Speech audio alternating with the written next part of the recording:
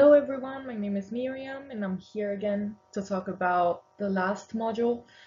Uh, so I'm just gonna start with the first question.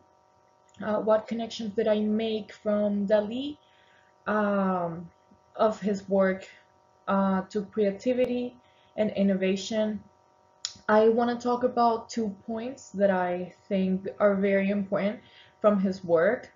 Uh, first uh, is that he was first part of the creation of the surrealism movement, uh, which is like a revolution in itself. So he was part of that, which is creative and innovative. Uh, he disrupted and completely changed art around the world. So he not only had an idea, but also the innovation to honestly change the world with his art.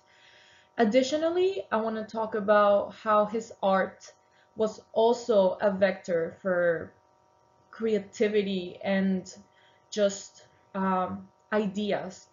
Uh, for example, in this painting, The Face of War, uh, he represents the ugliness of World War II and the Spanish Civil War. So through his art, he was communicating ideas uh, such as oppression, uh, and violence.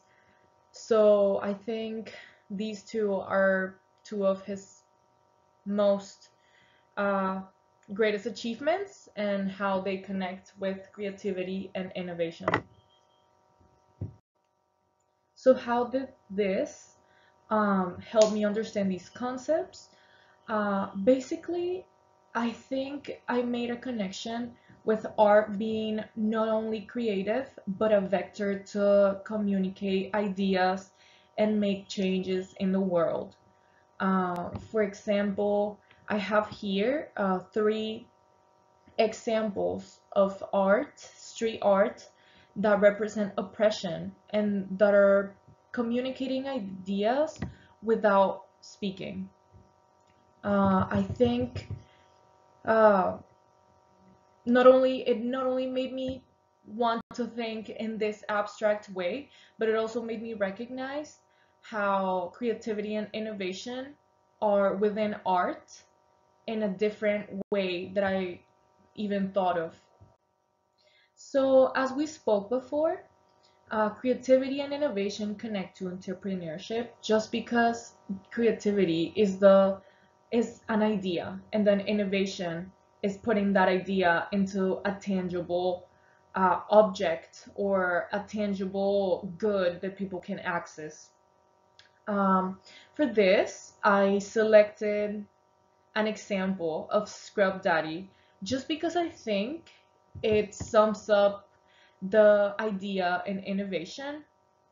Uh, although they didn't have a very, very new idea because it's a sponge, they had the idea to create a different shape that would help clean uh, the utensils better, such as like the smile is a spoon uh, cleaner, and then it's the texture uh, different if it's soft or firm in water, uh, depending on the temperature.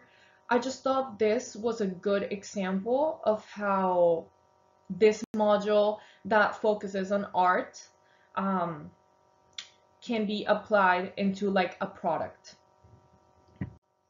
So as I spoke before, this module made me realize that art um, is not only creativity and um, like pictures, is a way of communicating ideas to a broad audience through visuals, audio, etc. The process of creativity and innovation is merely that, is creating an idea and just expanding it for people to have access to it.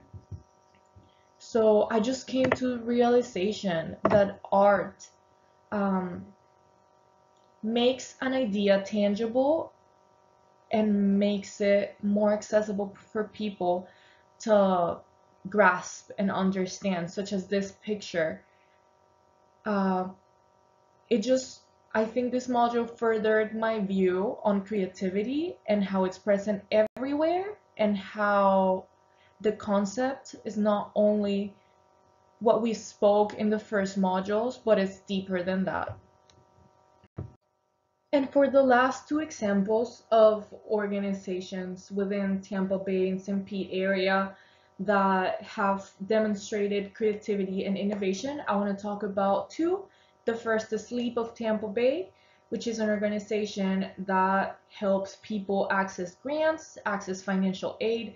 They provide counseling for people, and in this way, they're lowering the illiteracy rate they're making it more accessible for people to access education and spreading awareness of how difficult it is for some people to access education.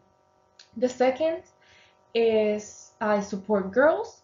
This organization helps people, menstruating people, uh, by providing menstrual products and also bras and necessary tools, uh, necessary products such as those.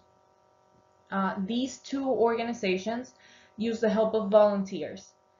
Uh, so it's very different from uh, being a, a business, but in this way, I think these two organizations do have creativity and innovation, not only helping people access these things, but also spreading awareness of the issue of people not being able to access either education or necessary products for everyday life. So I think these two organizations are pretty good. Uh, and this is the end of my video. Thank you.